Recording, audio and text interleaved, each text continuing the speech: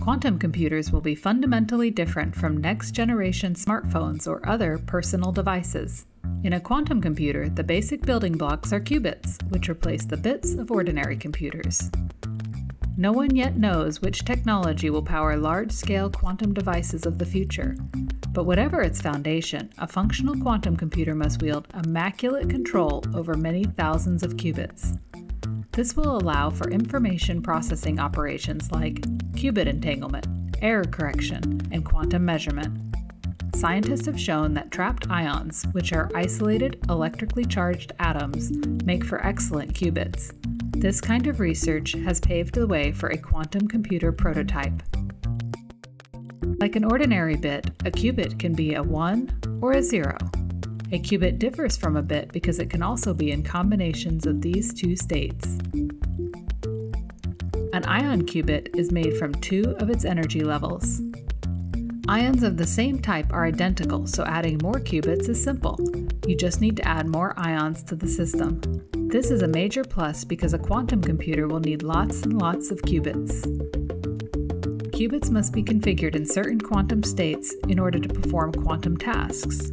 In an ion trap, tailored laser pulses can change the energy of an ion, setting it into qubit state 1, 0, or a combination of the two.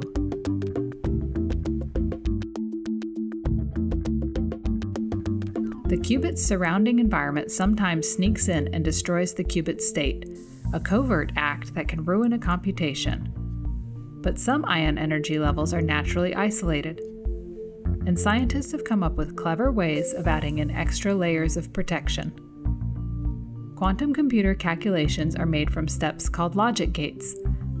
This will often involve more than one qubit, which means the qubits should be connected in some way. In an ion trap, neighboring ion qubits are connected through their collective motion. This happens because of their electrical repulsion. Laser pulses target the motion, enabling gates between any pair of qubits. To get the result of a calculation, scientists need to tell whether a qubit is in state 1 or 0. Shining laser pulses onto the ions makes only one of the two qubit levels fluoresce, so the result, light or no light, gives information about the calculation. Because many qubits are needed, quantum devices must be designed to be scalable. Researchers can only cram so many ions next to each other in a single ion trap before they get too unruly, but with modules, each containing tens or hundreds of ions, they can start to wire up a large scale quantum computer.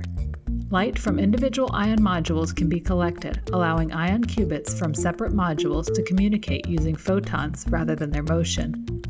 So far, scientists have wired up two such modules, and they are getting ready to deploy larger devices using several more.